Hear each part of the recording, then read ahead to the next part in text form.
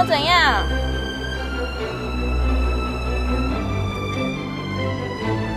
会有什么事故？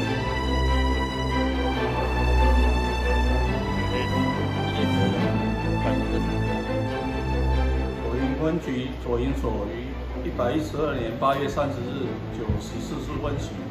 获报在左营区翠华交流道路口有女子从自小客车副驾驶座跳车跌落，本所立即派遣警网前往现场查处。民警到场后，并未发现所报的车辆，主动联系车主，得知该车系其男子郭兰驾车并搭载其妻汪女，两人因感情因素在车上争吵，汪女一时情绪激动，竟竟然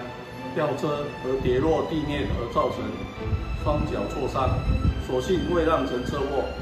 波兰随即将其妻送医治疗。民警赶入医院，确认跳车原因为口角情绪失控所致，并无遭强暴胁迫情事，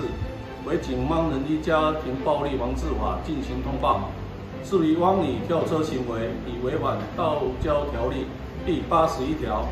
在车辆行驶中攀登、跳车或攀附随行者，处新台币五百元罚款之规定，严谨依法处罚。